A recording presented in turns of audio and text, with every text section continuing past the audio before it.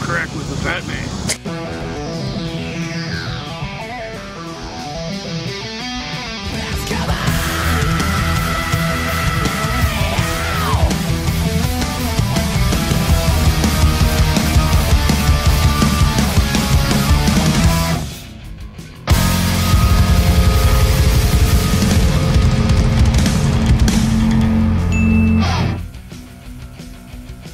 at Vintage Toy King, and I talk about it all the time, but I never actually show you guys the video.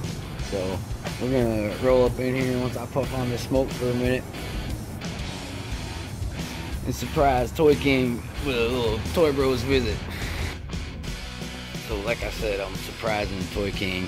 There he is. There's the man, the myth, the legend. Because I always come down here and I talk about this place on my channel, but I never actually show you guys anything. So I figured I'd throw you guys like the hunt video so much. Figured I'd throw that in. But I mean, he's got really cool stuff. Got the dollar bin. I like searching through that for fodder. Just all kinds of neat stuff. He's got predators, just all kinds of shit. So we're gonna walk around the store for a minute and I'm gonna see if I can't find anything cool. But he's got a good selection of DC. Like definitely find some DC stuff here since our town doesn't have shit for DC because they hate them. And uh, I picked up the Infinity War wave today. I didn't get Captain America. That's the only one. So I think I'm just gonna stick the other Thanos head on and be like, all right, that's good enough. and he looks better that way anyway. He's definitely got some old classic Marvel figures in the early days of Toy Biz, and then he's got a pretty good selection of packaged Marvel Legends. So every once in a while, I'll grab one of those up. You guys saw my Toy Fights episode. I gotta get back on those. There's a thing go with your Walgreens exclusive Mr. Fantastic. Just these old Spider-Man figures are pretty cool. You can get a lot of cool figures out of that wave that they didn't make other ones. They got really good articulation too. Some Terrence figures. This time I'm holding the camera the right way so you don't get them stupid letterbox. Walking Dead, Assassin's Creed, old school Power Rangers. Jay and Silent Bob almost died the other day. You see that? Freaking like massive heart attack. That would suck. Motu. Those are hard to find. You got good prices on too. See people selling these for so much online. Big Godzilla, old school. I spend hours in the store, and, and Toy King will vouch for that. How long you been here, Toy King? Almost four years now, right? Ooh. Three years and four months. Can't believe it's been that long. Uh oh. Uh oh. Toy Bro Matt found a Thunderbolts Punisher. Oh yeah, we're getting that. just reactivated my bank card and realized all you had to do was call the number, put your PIN number in, so I don't have to talk to my nasty ass ex girlfriend. Got some cool Marvel figures. Venom, there's a hot Venom there. I got them at home. Always rip their tongues out. BraveStarr, Inhumanoids, they got I could definitely destroy my tax return. But right now I'm on loot. Bought four totes this morning and filled them up already. I gotta move those over to the storage unit. All cool Batman figures, Marvel Selects, DCs. One of these days I'm gonna cook that Batman up, rub it in Toy Bro Rob's face. Bitch. Let's go. Check that G.I. Joe shit out. I could like make this USS USS flag, right? I can make that my bed.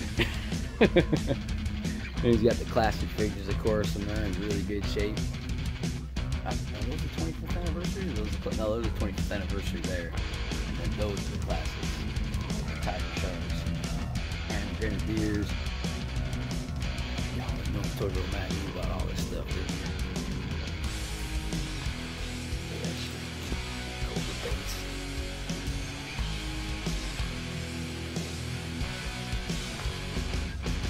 Toy King. I used to have these when I was a kid, and my grandma's dog ate the dude's arms off. And I, there's like a whole plethora of figures buried in the garden with little graves from I used to have funerals for them when the dogs ate them. Old school Star Wars Shadows of Empire. They should have made that a movie.